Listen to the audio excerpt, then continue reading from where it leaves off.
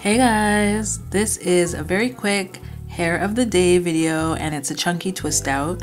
I wanted to come and share it with you all because normally I hate day one hair, but this turned out really cute and all I did was stretched it in two pigtails overnight and it made a huge difference in the volume, length, and fullness that I got on day one.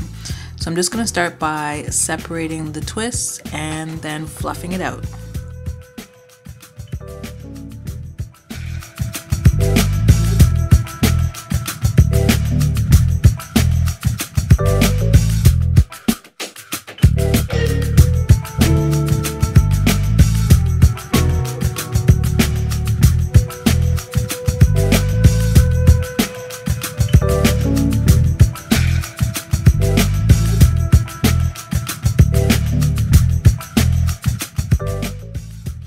I couldn't find my pick, so I just used a wide tooth comb to lift at the roots, added some edge control to my sides, and pinned it up slightly, and that's it.